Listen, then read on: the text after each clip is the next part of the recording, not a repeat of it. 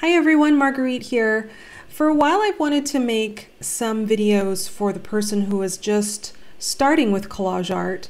And there's so many great things about collage art, but the, one of the things that can be so frustrating is that the concept of taking papers and using a glue stick and gluing those papers onto something else, it's a really easy concept and yet it's really easy to get stuck with that. And recently I received a question from somebody who said that when she begins on a journal, she she goes blank when she has the, the, the page in front of her and that she is also uh, indecisive about what to do. And she's pretty good about doing backgrounds, but then when it comes to using papers to collage that she just um, doesn't really know how to go forward.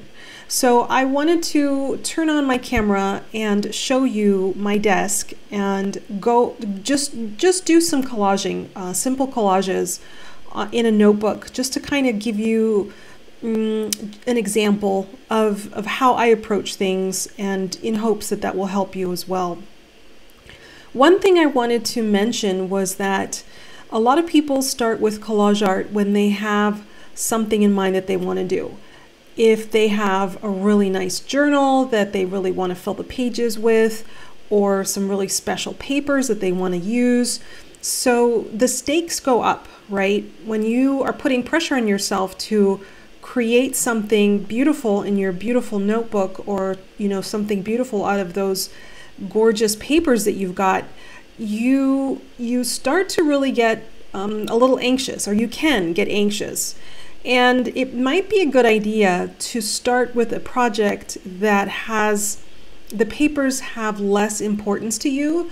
Therefore, you can feel like you're a little bit more free to make mistakes and to experiment, especially if you're just starting out. So let me go over to my desk and uh, show you what I'm talking about. Like many people who come to collage art, uh, my love of collage art grew to, from making junk journals and then wanting to fill those pages with really beautiful art, with collage art that would enhance the whole junk journal um, project. And filling those pages sometimes could be stressful, um, just to get it right, the correct, to match the correct mood of the, of the journal and that sort of thing. And I knew that I needed to do something different because I was not enjoying the process of collaging. It was just too stressful.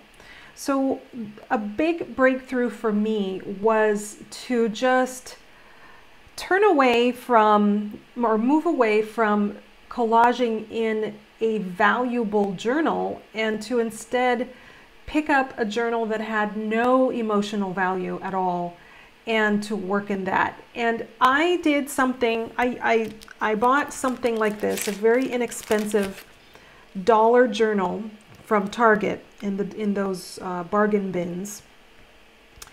And this was awesome because I just didn't, I just relaxed and I told myself, you know what, I, I don't care if I make mistakes. I'm just going to do, just have fun in this book and it's not for anything that I'm going to be showing anybody or or anything of that sort. And here's what I came up with. I, I filled it up a lot. I tore out a lot of pages uh, when I first opened it because I knew that it was going to get really big and bulky, and it did. So tearing out some of the pages helped. Even so, I think I tore out at least half even so, it's it, it also got uh, big once again, but that's okay, right? Never mind.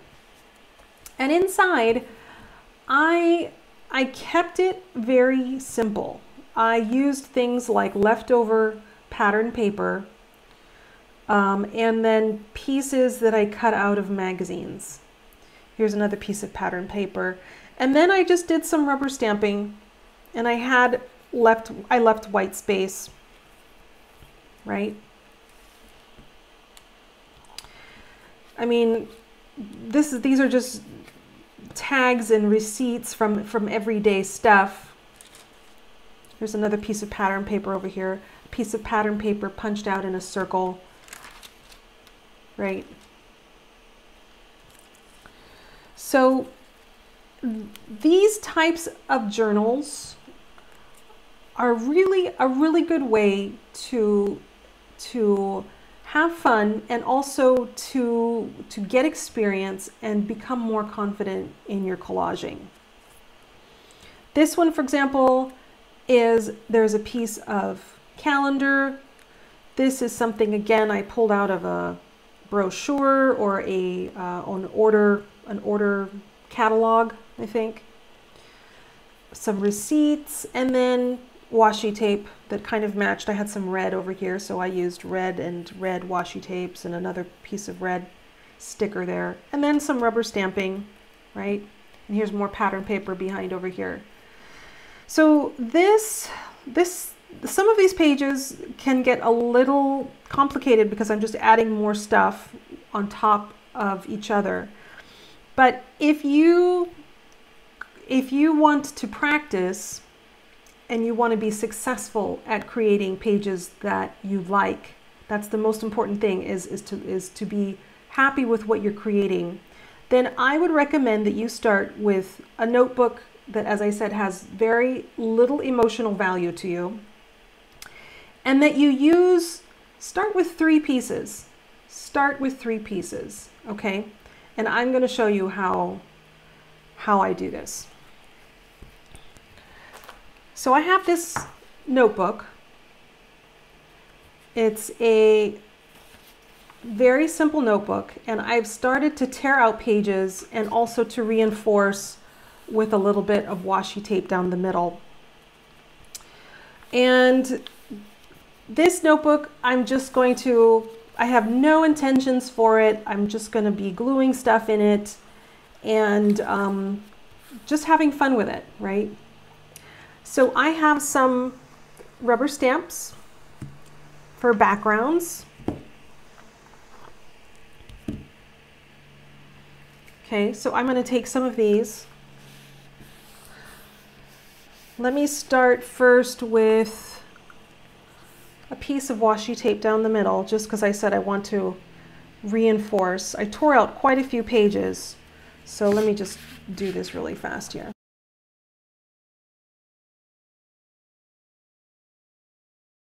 This notebook is almost like the size of a passport. It's a little bit bigger.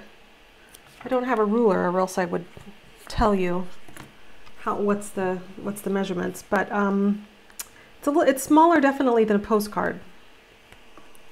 All right, so I'm going to take some blue ink and I'm going to just do some backgrounds. Now, it's up to you if you want to put, if you want to do, you know, some stamping for a background, you can leave, the, leave it blank. That's fine as well.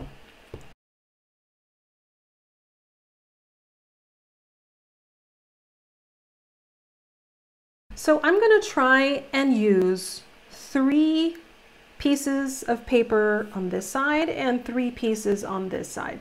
Now it's up to you if you want to just do to focus on one page and just complete one, or to also do keep in mind that this is you know on a facing page like on a spread and to work on this one simultaneously while you're working on this one.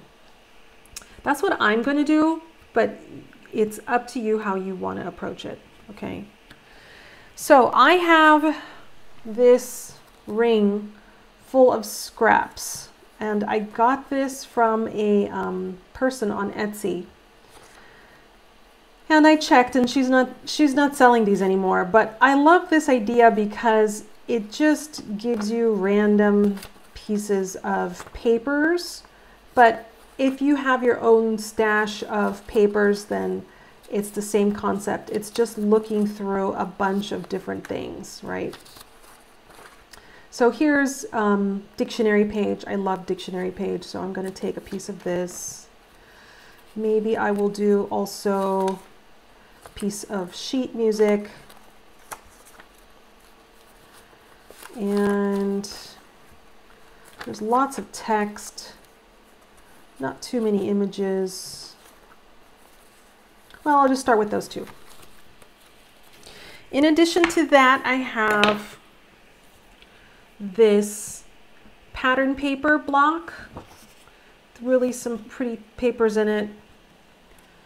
I've, you know, have some pieces, things like that. So let me take this one.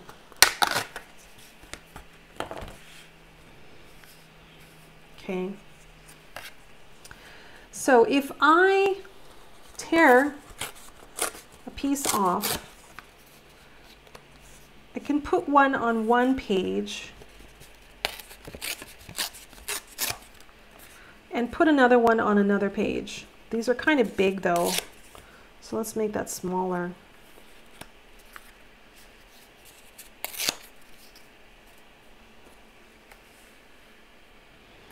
Okay.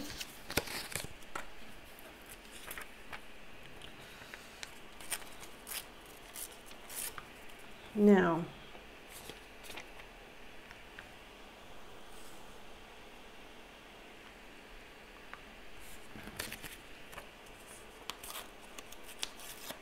just getting rid of the, the, the part where they had where it was the um the circle punch.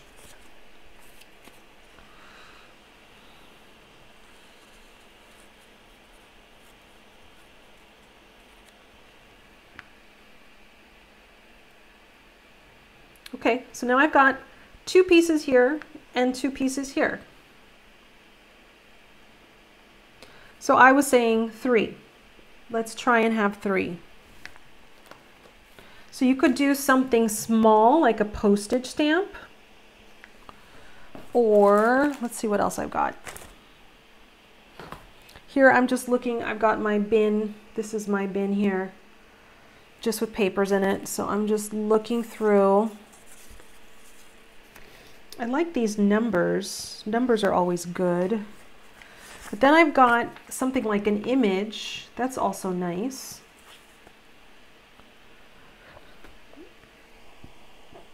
But I don't want to tear this image in half and share it. That's not what I want to do. So let me see if there's something else that I can do. Also, I'm kind of missing, I'm kind of missing some color. I mean, I've got these bright pieces. So let me see if there's something else that I can do with color. I've got these pieces of map. This would work.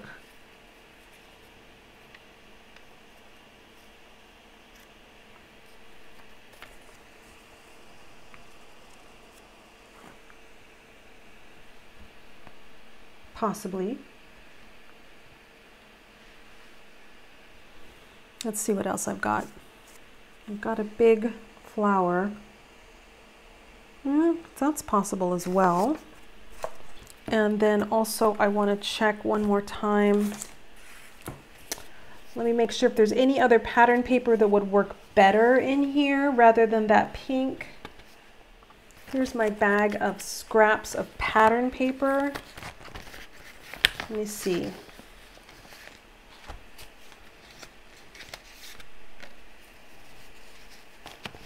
I'm also seeing black. That's interesting. I wish I had more of this. Where did I get that from? I don't. That's the only piece I have of that.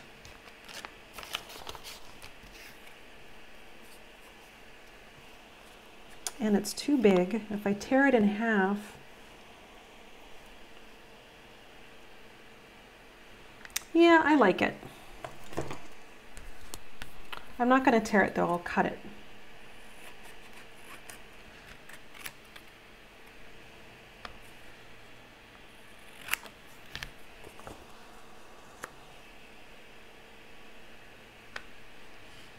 And this side,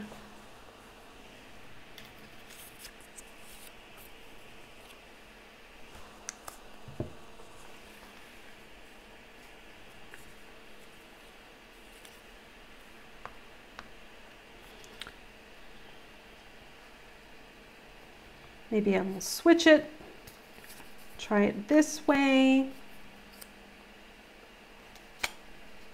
There we go. Okay. three pieces. Do you see what I, what I did there? So I will go down and I will glue this and I will be right back. Okay, so here's where I am. I've glued everything down and I have my three pieces and now it's time for me to think about adding more embellishments if I want to. I could stop right here and be done and move to the next page if I want to. That's, that's entirely fine. I'm totally happy with the way it is right now. However, it's, it's more fun to think about, you know, adding more stuff. So I have um, some things that I could use. I have some stickers. These are stickers of postage stamps. And I also have very small rubber stamps I could do. You know, I could put something here and something over here or something on the music sheet. Um, you know, or I could take scraps. I have a bunch of, you know, little things. If this black is too stark and you wanted to kind of, you know, break that up, you could do something like that or over here, something here, right? Um, so yeah, I mean, there's tons of possibilities. So here, I'm just gonna use these stickers. They're not my favorite, but what I do really like about them is that they're really vibrant, super bright. So because again, I've got this kind of stark black, um, it's kind of fun to to add some color. So I think that's what I'm gonna do. So maybe I'll put this one here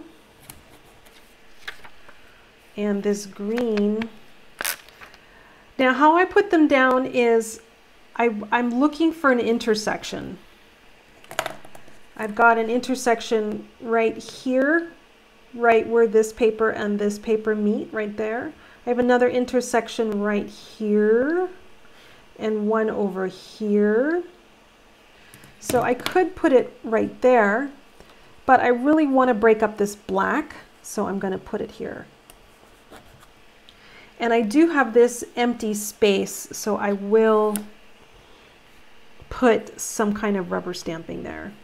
This guy, or I have a postmark rounded postmark stamp I could do.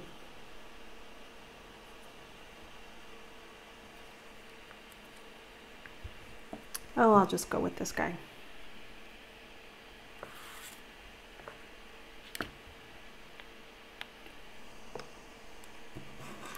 Um, you know what I'm going to do? I'm going to choose red because I've got a tiny, tiny bit of red on the map. So let me do that.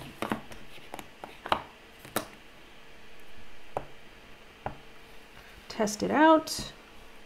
Yep, good.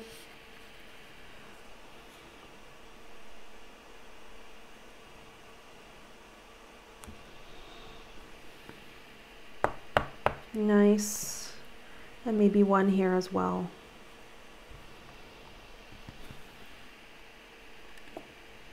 There, that's it. Now I am done with this collage. Nothing else I want to do. So turning to the next page,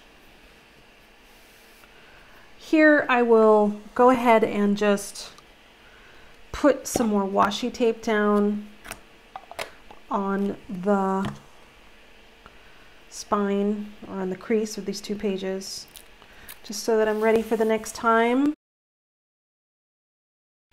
So I'm ready for my next my next pages. I can continue on or I can stop for today. Um, if you have any questions, do let me know.